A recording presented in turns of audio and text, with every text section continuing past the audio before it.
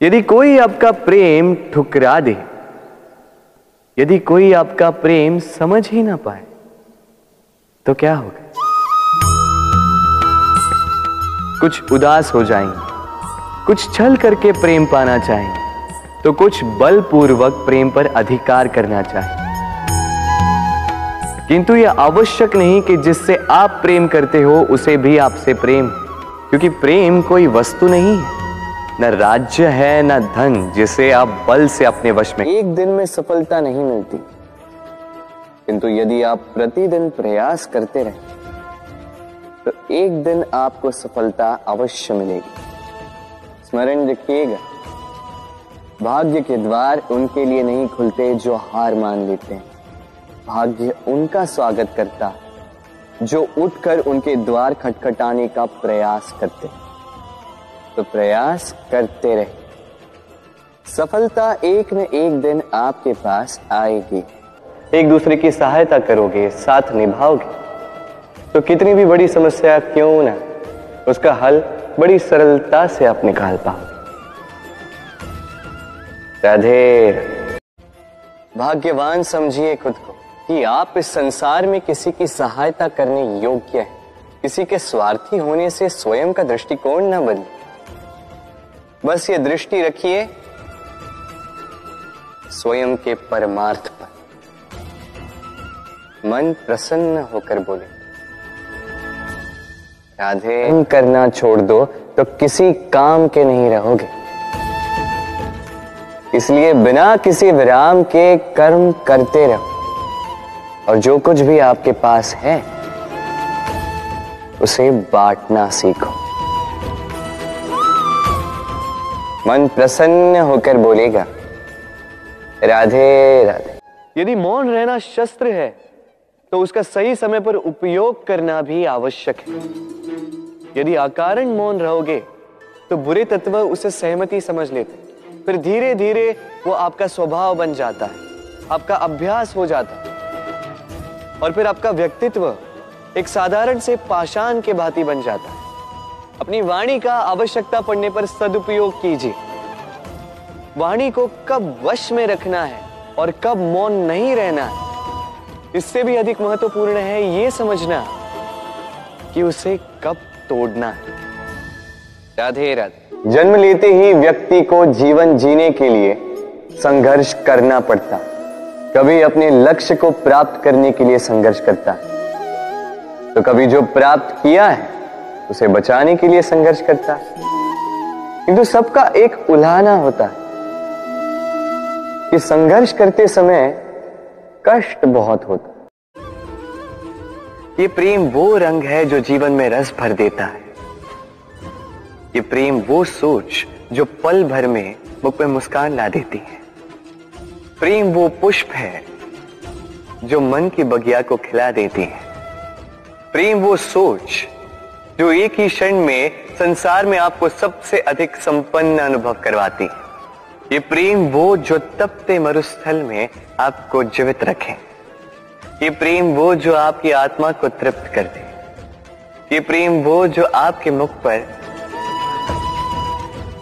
मुस्कान ला दे जैसे अभी इस समय राधा मेरे मुख पर ले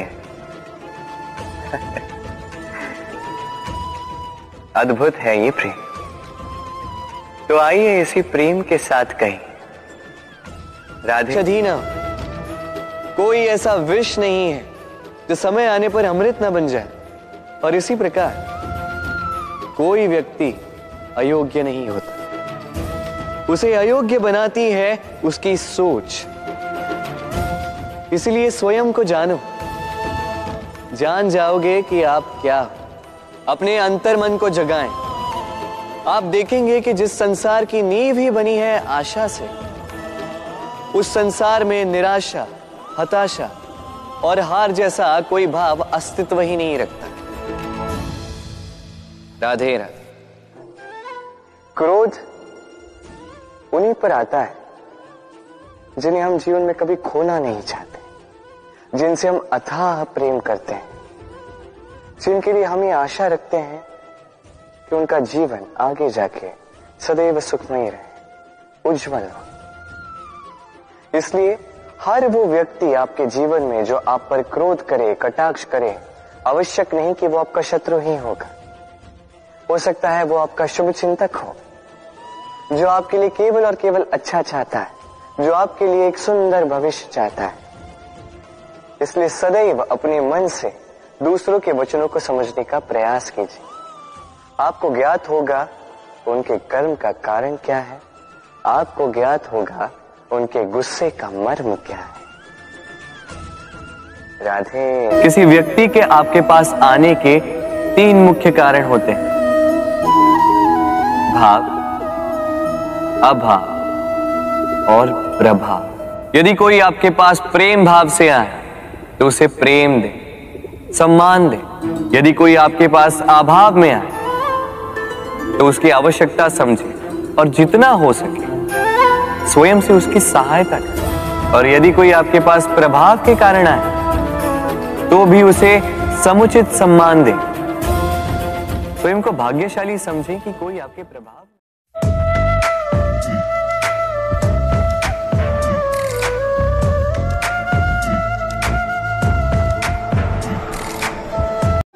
केवल मनुष्य ही है जिसने धन की मुद्रा का आविष्कार किया। धन कमाना सीखा। और आश्चर्य की बात भी यह है कि मनुष्य ही है जो कभी अपना पेट नहीं भर पाए। क्यों? इसका कारण है लोभ। तो कर्म किए जा, तू फल की चिंता ना कर। तुझे वो मान अवश्य मिलेगा जिसका तू पात्र है, बस। विश्वास कर। राधे राधे। प्रेम। जो न शास्त्रों की परिभाषा में मिलेगा न शस्त्रों के बल न पाताल की गहराइयों में न आकाश के तारों जीवन तभी तक है जब तक कर्म करोगे। तो संघर्ष करते रहिए कष्ट को भूल जाइए और मेरे साथ प्रेम से कहिए। राधे